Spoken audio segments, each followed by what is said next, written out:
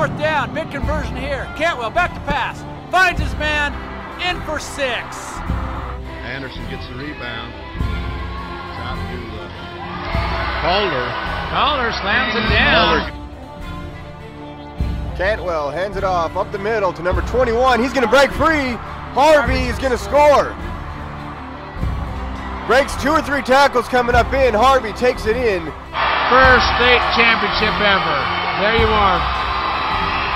Bryce Valley Mustangs.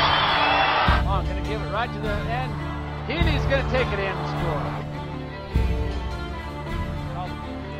Uh-oh, he's going to get And gone. he's He's going to He, get gone. oh, he's got a He blocker. He can. One blocker. He gets him down. He will go all the way for the Brave. Deseret News, you guys always cover their sports events so well. Prep Sports, Matt and Amy with us here. You know, tell what you know. Obviously, it's important to your company, and uh, why? Why Um, is that?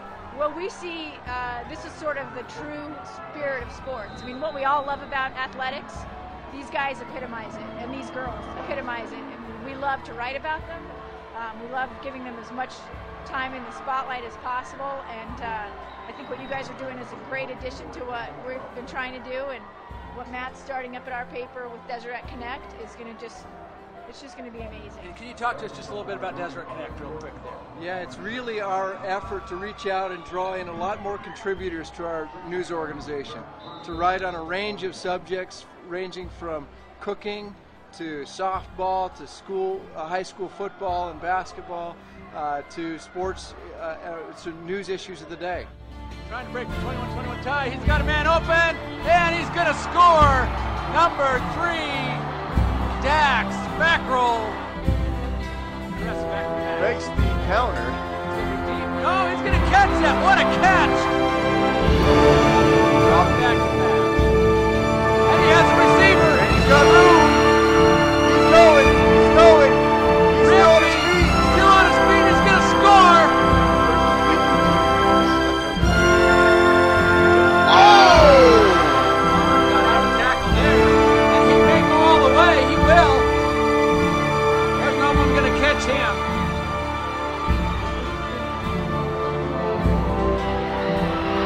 It is it!